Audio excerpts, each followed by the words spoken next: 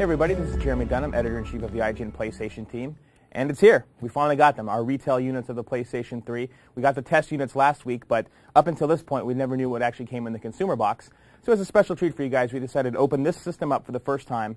No one's ever touched it until now, so that we experience the same thing you'll experience when you open up the system on November 17th. So let's get to it.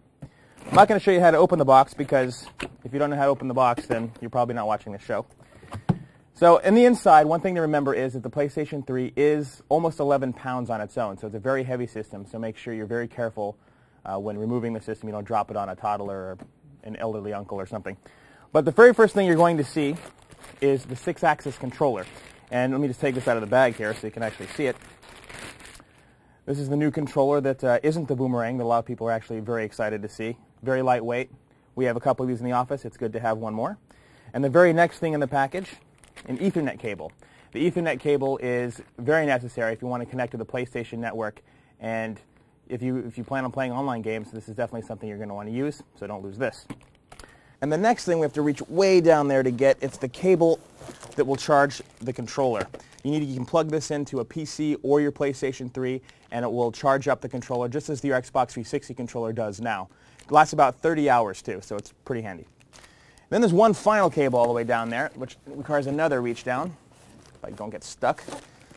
And that is the composite cable, which has actually been a point of contention for a lot of people because it's not an HD cable.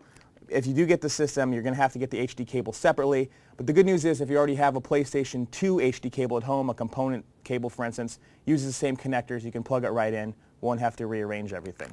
If you don't, you have to buy it separately. And now for the beast itself, which is uh, quite a task. Want to make sure I don't drop it on an elderly uncle. Best thing to do is take this out, which conceals the hidden plug, which is pretty much a standard PC plug. It's very similar. Looks uh, at the end, as you can see, very similar to what you'd have on uh, your home PC. So if you want a spare, you can pretty much just go get one at any Radio Shack. And here we go. I should have hired a construction crew. Here we go and as a, as a big bag of goodies falls out, I'm going to go ahead and move the box to the side. And here's the system itself in its protective casing. This is exactly pretty much how it was in the test unit when we got it.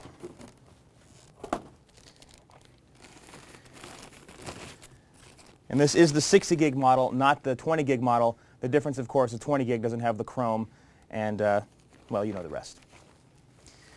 And so here it is, our PlayStation 3 retail unit out of the box for the very first time. You can see it's actually not with fingerprints yet, but it, because of its gloss finish, it gets them pretty fast.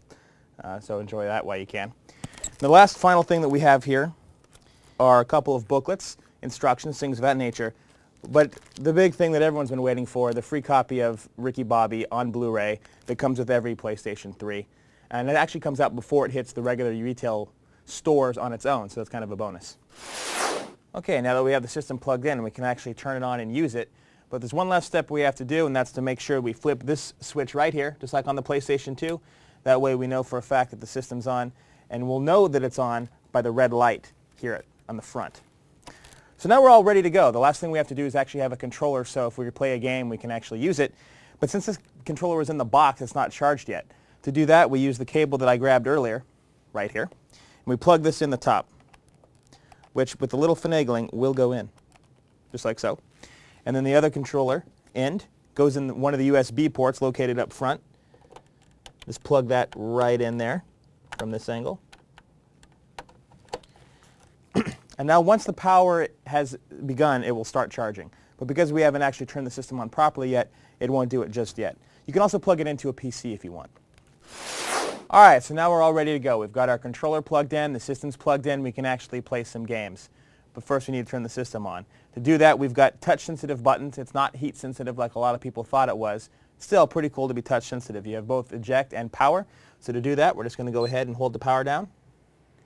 And this is the screen you'll see for the first time when it boots up.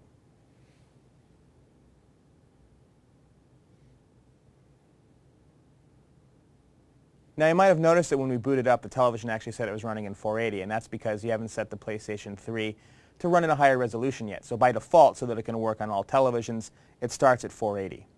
Now, of course, here you see that even though we have a controller plugged in, it says that we need a controller plugged in, otherwise we won't be able to play. To, to let it know that you're actually ready to go, you hold down the PlayStation button, select which language you want to do, which is English, because I don't speak any of those other ones. An available HDMI device was detected. Do you want to output video using HDMI? Yes, we do. So we just go and choose that. And now as it reboots itself, do we want to switch to optimal settings? Of course we do. Optimal is always better than not optimal. So we'll go ahead and select that. It's ready to go. Now it's in 720p, ready to go. Automatically figured out what the television can run in. So we go ahead and we accept it. We choose our time, which we're here in San Francisco, so we're going to go ahead and choose Pacific time. And then today's date, which is November the 10th. So let's put that in. And there we go. There's our settings. It tells us our current time and everything we just did. So we go ahead and enter. And now here's the PlayStation 3.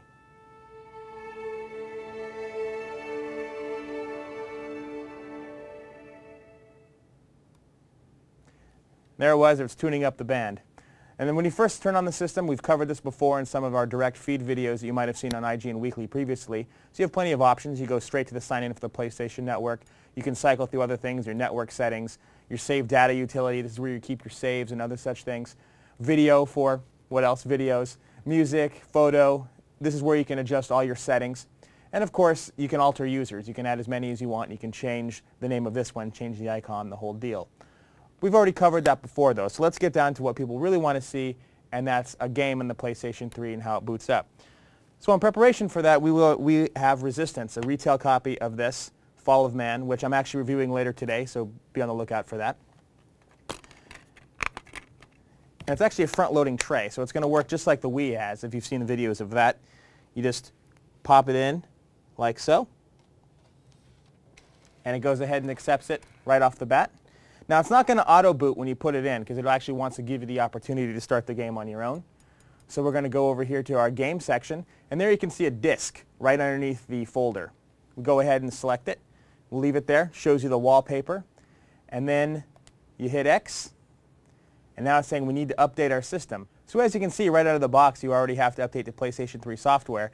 But we're not going to do that yet because honestly we're still running a couple of tests 1.0 versus version 1.02. Um, so, but if you do want to see Resistance, tune back later today because I'm actually reviewing the game. We'll have a full video review. You can check it out for yourself. And otherwise, uh, that's it for this time. Look for more coverage on the PlayStation 3 and us getting the retail units and plenty more through today and the rest of the week.